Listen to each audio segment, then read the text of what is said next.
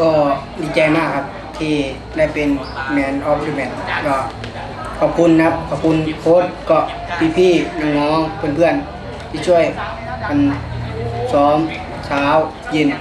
แล้วก็ประทับใจครับประทับใจที่ช่วยกันเล่นได้ขนาดนี้ครับฝั่งนู้นเป็นไงบ้างทีมก็เขาดีครับดีครับช่วยกันเล่นดี แต่ก็แพ้ทางเราเหมือนเดิมครับ